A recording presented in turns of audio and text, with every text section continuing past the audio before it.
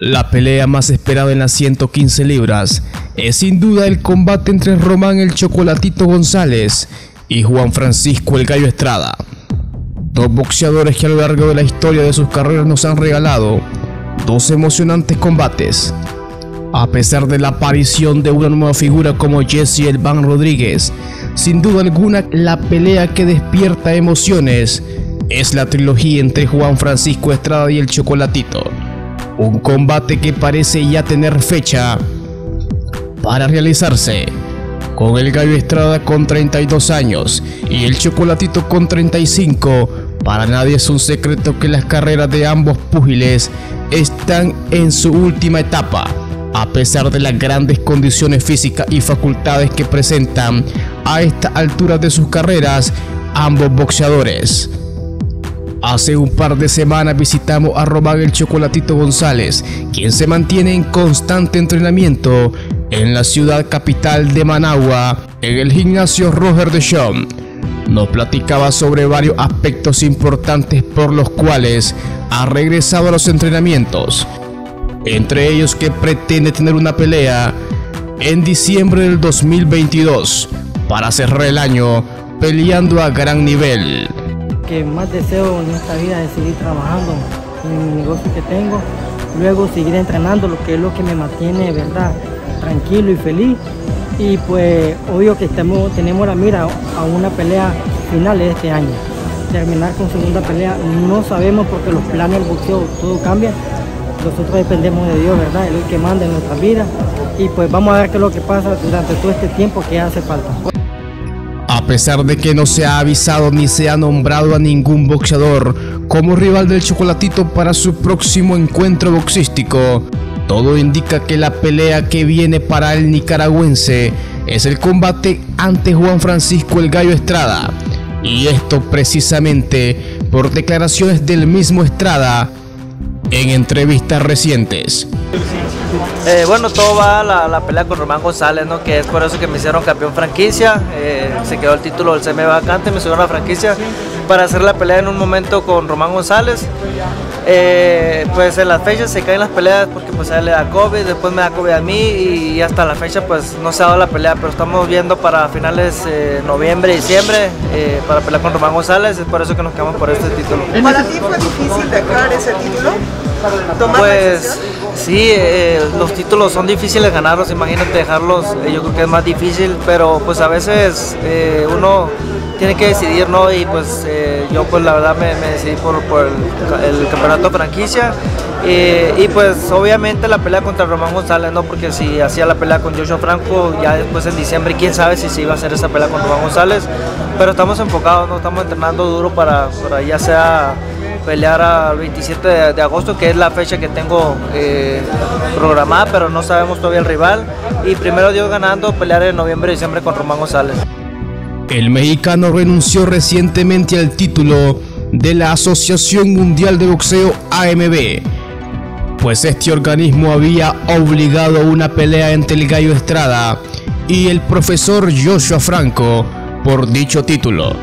Sin embargo, esta pelea iba a representar una bolsa paupérrima para ambos boxeadores, razón por la cual el gallo decidió renunciar a dicho título y enfocarse de una vez por todas en la pelea que sí podría darle una buena cantidad de dinero.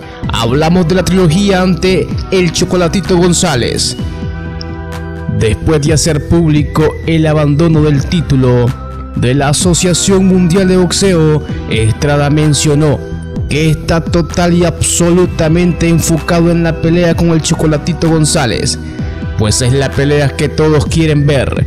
Y la pelea por supuesto que le generaría una buena cantidad de dinero a ambos boxeadores, por lo que significa el nombre de Román el Chocolatito González actualmente en las 115 libras. Las dos opiniones coinciden tanto la del Chocolatito como la del Gallo Estrada, en querer enfrentarse. Pues todos sabemos que es la pelea, a pesar de que ha aparecido Bar Rodríguez, que genera demasiado interés en el mundo del boxeo. Y por supuesto que es de vital importancia e interés también para las promotoras de dicho evento boxístico. Con el camino libre y sin la pelea ante Joshua Franco, el Cayo Estrada tendrá el camino libre para elegir una pelea previa a la pelea del Chocolatito. Un rival de preparación que le permita soltarse bien y por supuesto ir preparando y afinándose cada vez más de cara a una posible trilogía. Han hecho muchos grandes y la bolsa sería muchísimo mayor que la que pudieras haber ganado con Joshua. Eh, sí, fíjate, yo creo que es, es, es, más que nada eso, ¿no? Que la gente pide esta pelea, esta trilogía eh, y pues monetariamente obviamente me, me, va a ir mejor contra Román González que con Joshua Franco o con cualquier otro peleador. Pero estamos enfocados en, en hacer esa pelea contra Román González que pues las dos primeras han sido muy buenas y yo creo que la tercera va a ser mejor. Mencionabas que quieres una pelea este, en próximos meses. ¿Qué tipo de rival te gustaría enfrentar? Eh, porque pues daría parámetro para ya en diciembre al chocolatito, pero ¿qué tipo de rival quisieras tú? Eh, fíjate que yo tengo casi, eh, si no me equivoco, un año y tres, cuatro meses sin pelear, pero no me preocupa, no, no me preocupa el rival, la verdad que el rival que sea eh, ya sea rankeado o si es un campeón no, no hay problema. Lo que sí estamos enfocados, como te digo, es en la pelea contra Román González, pero de hecho ahorita tengo más de un mes y medio entrenando aquí en la altura y estoy, estoy bien entrenado, o sea, para cualquier rival que me pongan y yo lo que quiero es pelear lo más pronto posible para primero Dios en diciembre o noviembre pelear con Román González. Lo que sí no conocemos es que si el chocolatito tendrá también una pelea de preparación previo a este combate ante el Gallo Estrada. Hasta el momento todas son conjeturas, pero el mismo Estrada mencionó que la pelea podría ir en diciembre del 2022. Por consiguiente tendríamos un cierre de año espectacular con la pelea que por supuesto todos hemos estado esperando. Estrada y Chocolatito se han enfrentado en dos ocasiones. En la primera de el nicaragüense se alzó con la victoria y en la segunda en un fallo polémico para muchos especialistas del boxeo, Estrada se alzó con la victoria, dejando la serie en una victoria por bando. A pesar de eso, el Chocolatito ha mostrado un gran nivel y por supuesto lo cual genera que todos los aficionados a los pesos pequeños estemos esperando con ansias este combate para ver quién de los dos es realmente el mejor. Déjanos saber tu opinión en la caja de comentarios de qué opinas acerca de este combate importantísimo en la categoría de las 115 libras. Si crees que el chocolatito tiene todavía los argumentos necesarios para destronar al gallo Estrada, o si acaso el gallo Estrada con 32 años puede vencer y no dejar dudas como en ocasiones anteriores a Román el Chocolatito González. Cada comentario lo estaré leyendo detenidamente. No olvides suscribirte a nuestro canal de YouTube, activar la campanita de todas las notificaciones para que YouTube te alerte cada vez que subamos un nuevo video.